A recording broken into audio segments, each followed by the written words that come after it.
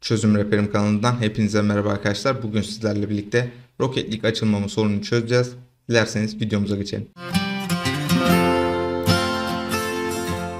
Evet arkadaşlar ilk başta driverlarınızın güncel olması lazım. Sağ üstte bırakıyorum videoyu. Oradan driverlarınızı nasıl güncelleyebileceğinizi öğrenebilirsiniz. Şimdi ilk başta Steam'den başlayacağım. Ondan sonra da Epic Games'e geçeceğiz. Steam'de kolay olduğu için ilk hemen Steam yapalım. Kütüphaneye geldik. Rocket League yazıyoruz. Özellikler. Buradan yerel dosyalar arkadaşlar. Oyun dosyalarının bütünlüğünü doğrula diyorsunuz. İlk başta bunu bir yapın. Dosyanız tam olup olmadığından emin olun arkadaşlar. Bunu yaptığınız olmadıysa genele geliyorsunuz.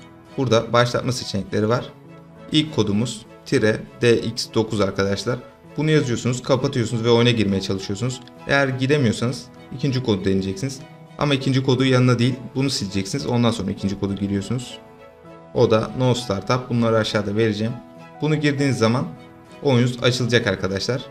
Bu şekilde Steam'deki Rocket League sorununu çözebilirsiniz. Şimdi de Epic Games'teki Rocket League sorununu nasıl çözeceksiniz onu göstereceğim. Evet şimdi Epic Games'e geldik. Kütüphaneye geliyoruz. Şimdi Rocket League Epic Games üzerinden bende inik değil Steam üzerinden inik olduğu için burada gözükmüyor. Ama size başka bir inik oyundan göstereceğim. Örnek vereceğim. Ondan bile Bannerlord. Burada mesela 3 nokta çıkıyor. Buna basıyorsunuz arkadaşlar. Sizde Rocket League olacak. Doğrula diyorsunuz. Bu olmazsa arkadaşlar şimdi ana çözüme geçiyoruz. Diğer çözümümüze geçtik arkadaşlar. Size videonun altında verdiğim linkten bu dosyayı indireceksiniz arkadaşlar. RAR dosyasını. Buradaki dosyayı dışarı fırlattık. Şimdi sizde Rocket League nereye inikse ona gidiyorsunuz arkadaşlar. Ben şimdi Steam üzerinden göstereceğim ama sizde Rocket League'in normal dosya konumuna Epic'ten gireceksiniz. Ben de D'ye inik. Steam dedik. Steam Maps.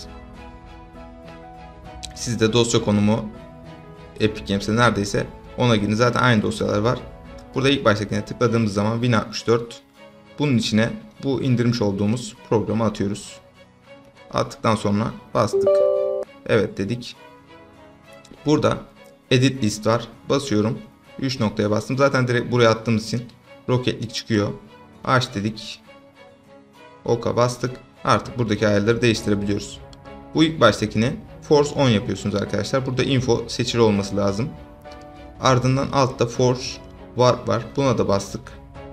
Ee, level limitimizi de 11 veya 11.1'e çekeceğiz. 11'e çekelim. Uygula ve tamam dediğiniz zaman Epic Games'te de artık Rocket League'iniz açılacak arkadaşlar.